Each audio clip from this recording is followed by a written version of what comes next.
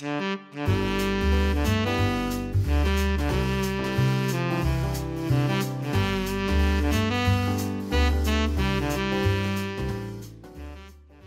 は、えー、京都に本社を持って、えー、運送業を営んでおります、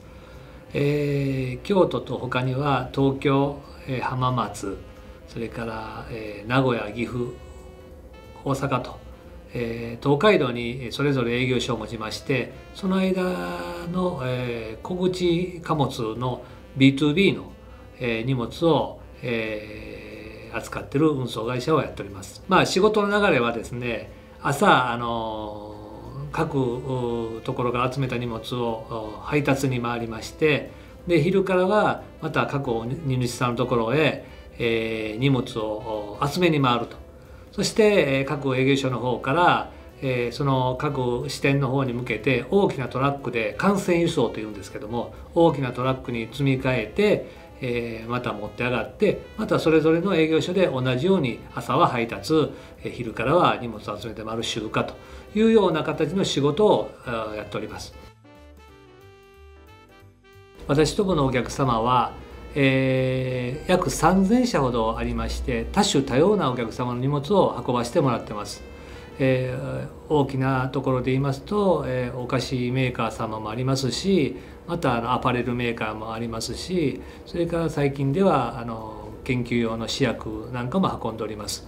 で私どもいろんなものを運べるということで、えー、荷物のあるところ時代によって、えー、荷物のあるところを選んで営業をかけていってそして、えー、売り上げを上げるというような戦略でいっております。普通であれば大は小を兼ねるというんですが我々のコンセプトとして小を大を兼ねるという形で動いています。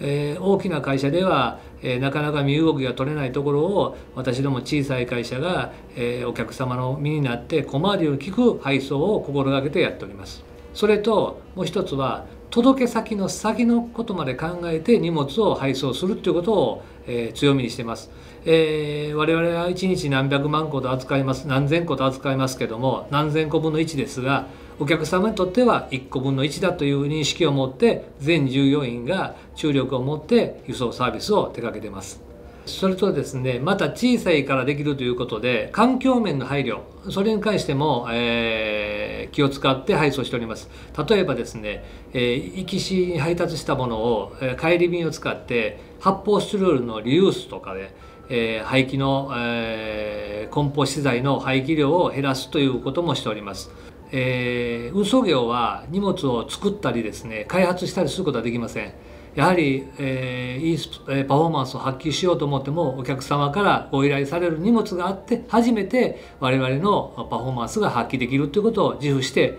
えー、お客様こと荷物のことに対してすごく感謝はしております。そしてそれはにあの扱うのはやはり人です。えー、人が、えー、一番のその財産になりますから、えー、商品にもなりますので、えー、人のコミュニティを大切に、えー、会社をやっております。特に当社では、えー、接客に対するマニュアルなどは用意しておりません。えー、それぞれ人個人個人の、えー、接客によって、えー、20歳に接するということを重んじております。経営面ではですねやはりあの輸送コストが上がってるいう面が一番の問題じゃないでしょうか。ご多分に漏れずガソリン代も上がっておりますので、えー、経営を圧迫する一の要因にもなっております。それから、えー、従業員さんの給料が上がった分に関してはですねいい生活をということで思ってますのでその分に関しては一生懸命仕事をして返していこうと考えております。えー、軽油ガソリンというか軽油の分の使用量に関してはえー、やはり、えー、エコ運転をですねしたりとかして、えー、単価が上がった分使用量を減らそうという努力を、えー、続けて、えー、今のコスト高をなんとか乗り切っていこうということで動いております。えー、また収益を上げる値段交渉も価格交渉ですね、えー、もうあの時代にそして行わせてもらいました。えー、荷主さんの方にですね、えー、親切丁寧に理由を申し上げるのと一緒に、お願いに回ってですね、えー、一件一件ご理解をいただいてそして、え荷物をいただいているというのが現状です。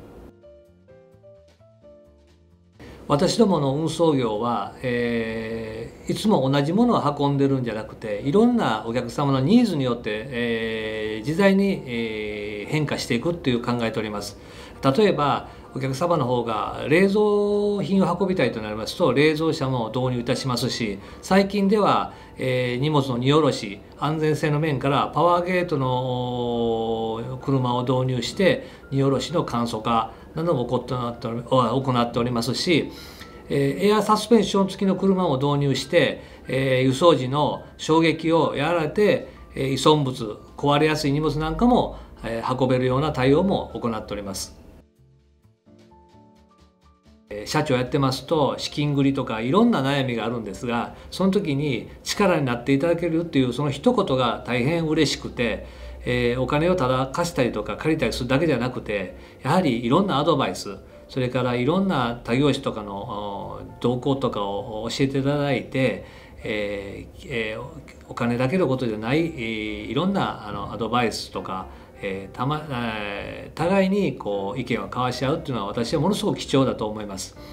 そして、えー、若い、えー、婚姻さんがこれからお見えになるということなんですけども是非金融のプロになっていただいて、えー、私ども経営者に対してアドバイスをお願いしたいことを思います。えー、堂々とですね、えー、勉強していただいたことを我々の業種に教えていただくことが一番のえー、経営者としてのあの望むところでありますしまた是非ともお願いしたいところでもあります。